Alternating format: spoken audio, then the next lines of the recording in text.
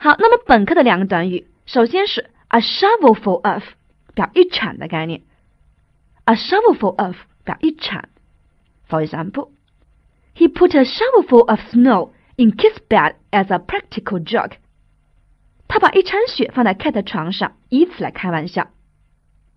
He put a shovelful of snow in Kit's bed as a practical joke.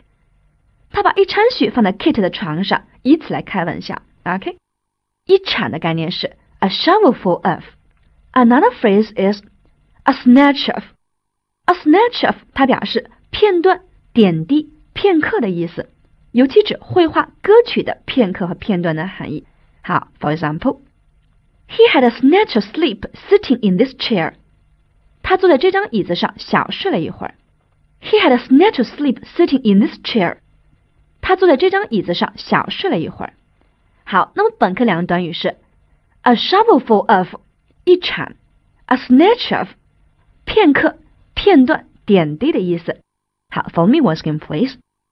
A shovelful of. He put a shovelful of snow in Kit's bed as a practical joke. A snatch of. He had a snatch of sleep sitting in this chair.